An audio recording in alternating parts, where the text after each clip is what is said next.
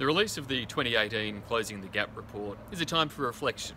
Reflection in my portfolio on the advances we're making in education for Indigenous Australians, but also, of course, the challenges that still lie ahead. We're pleased to see progress, real progress, in terms of achieving our target of 95% enrolment of young Indigenous children in early education in preschool settings.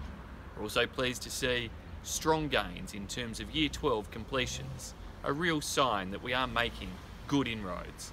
But there's still much more to be done to truly close the gap in terms of educational attainment for Indigenous Australians. That's why over the course of the next year, we'll continue to be focused, focused on delivering of our commitments for opportunities in preschool settings for Indigenous children to learn in our language, but also to better learn English.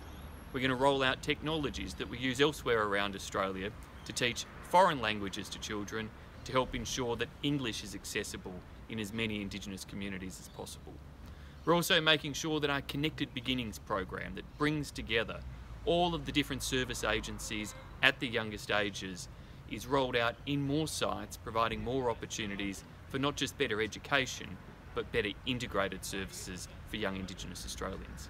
This will be coupled with delivery this year of reports into educational excellence in Australian schools by David Gonski and our review of regional and remote education, critical of course again to Indigenous attainment.